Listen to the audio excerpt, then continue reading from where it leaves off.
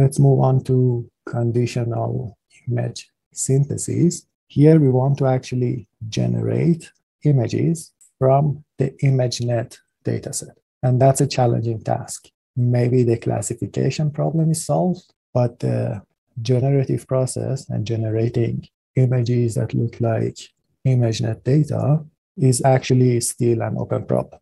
Because unlike uh, human faces, where there is only so much variation, with ImageNet data, you could see the face of a dog or the body of a dog, different types of fish, different types of airplanes uh, from all sorts of categories. So you have a lot of diversity coming from 1000 classes, and each one of those classes is really diverse. So it's actually a good idea to explore that dataset to get a sense of the complications.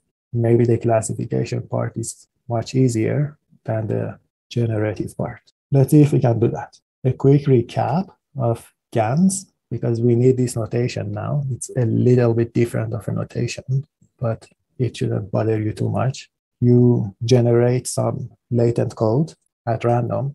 You push it through your generator. That's going to give you a fake image. You have a discriminator that is modeling the probability of the source given the image. And what is that notation for? We can think of D as outputting a two-dimensional vector.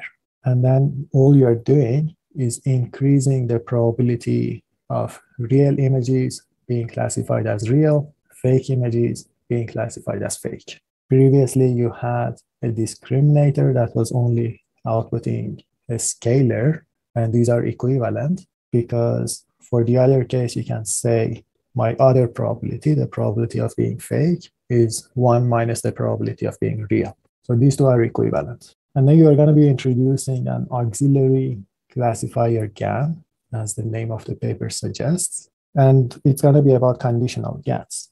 You have noise, you have the class label, and then you are going to generate fake images from that class. Here, your discriminator is actually uh, going to output more. That's why the notation changed a little bit. It's going to output uh, two classes here, which is going to say, is this real, is this fake? At the same time, it's going to say what was the class. If you have 10 classes, it's going to output 10 numbers that add up to one. If you have 1,000 classes, it's going to output 1,000 numbers that add up to one. Okay. Then you're going to have a source loss, which is going to say, is this image real or fake? And then you're going to have a classifier loss. For the real images, you know the corresponding class because you're working with ImageNet data, and you can increase the probability of the correct class for the fake ones, you actually know the corresponding class because that's going to be the input to your generator. And you know what you inputted to your generator yourself. And those probabilities you want to increase. And this is the log likelihood of the correct source. This is the log likelihood of the correct class. Your discriminator is going to maximize the probability of the correct source and at the same time tries to correctly classify your images. Your generator still wants to correctly classify the images. At the same time, it wants, it wants the discriminator to make a mistake. That's why you have a minus sign here. So both of them try to classify correctly. The generator is going to make the discriminator make a mistake when it comes to classifying between real and fake. But you cannot simply say, I'm going to output 1000 classes and then come up with a method that's going to generate all sorts of images for you, you're going to break your problem apart. You're going to have 100 generators, and each one of them is focusing on only 10 classes. And we know that ImageNet data has 100 times 10, which is going to be 1000 classes. So you're not going to have one AC GAN for 1000 classes. You're going to have 100 different GANs each one of them focusing on 10 classes. And that way you have an ensemble of models. This is because of the complexity of the ImageNet data. And even after conditioning, you're not going to get good images, good looking images. Therefore, you're going to uh, break your problem into chunks to be able to solve it. Okay, perfect. And then in the end, you're going to get some good looking uh, generated images. But something nice happens. We introduced two metrics for evaluating the performance of uh, generated images. One of them was inception score, the other one was Fréchet inception distance. Because there is some conditioning going on and some classification going on in the background while doing the training of AC-GAN, we can actually try to study interesting things and come up with a new metric based on classification. Now you have some labels to work with. There is this observation that generating higher resolution images is going to improve discriminability. But what do we mean by that? Don't worry about this figure yet. What you're going to be doing is you ask your generator to generate an image for a particular class, maybe generate a zebra. You take that synthesized image, push it through a pre-trained inception model. The inception model is going to give you a class. At the same time, when you are synthesizing your image, you knew that you wanted to generate the image of a zebra. And you can see whether the inception model is giving you the same image. Is this really a zebra? Do they agree? And then you can count. You look at the entire data set, not only zebras, you can look at cats, dogs, etc. And then you can say you can count or compute the fraction of images that your inception network is agreeing with the correct label. And then you can play around with the resolution of your image.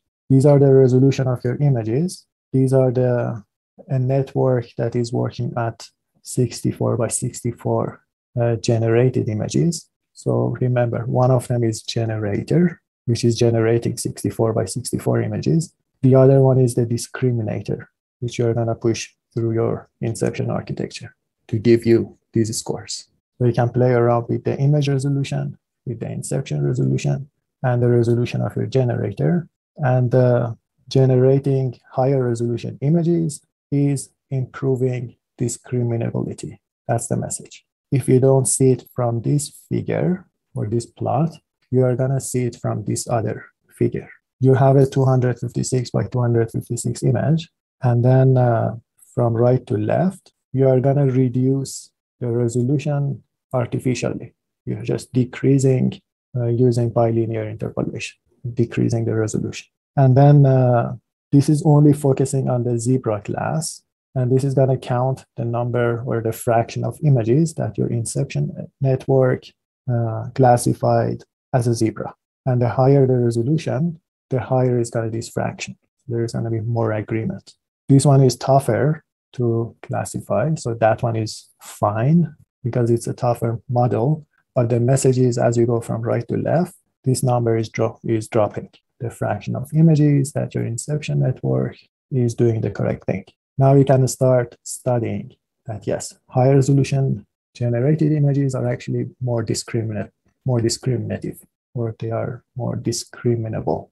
Okay, so far so good. Any questions so far? So this is a third metric that you can work with in addition to uh, inception score and Fréchet inception distance. This is the third one, but this one is applicable only for conditional image synthesis because you know the corresponding class. The other thing that's important is another metric that we can use in the future is using this uh, measure of the diversity of generated images.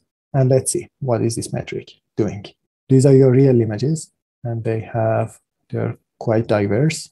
There is this guy uh, having a sandwich in his hand. This is a sandwich, etc. These are diverse. These are diverse images from real, and these are also diverse from artichoke. The synthesized images, and these are actually from ImageNet. Uh, for the hot dog, they are they look diverse. This one is less diverse, less diverse, and these are basically the same.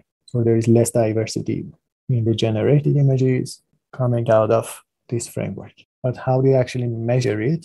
There is this MS-SSIM number that is being reported. For real images, these are really low. For the generated images, these numbers are really high if there is less diversity. So we don't have time to go into the details of the metric. It's an old metric and it is for tasks such as uh, super resolution, where you have a low resolution and then you want to increase the resolution and then you want to measure how good uh, the generated images are, the super resolved images are.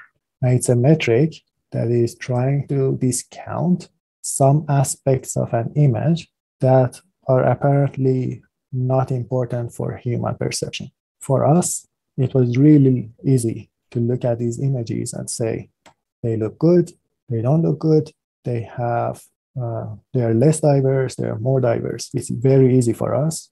There is actually a paper that we cover in part one of the course that says a VGG network or an inception network trained on classification tasks, they actually agree with what humans say about images in terms of human perception of images.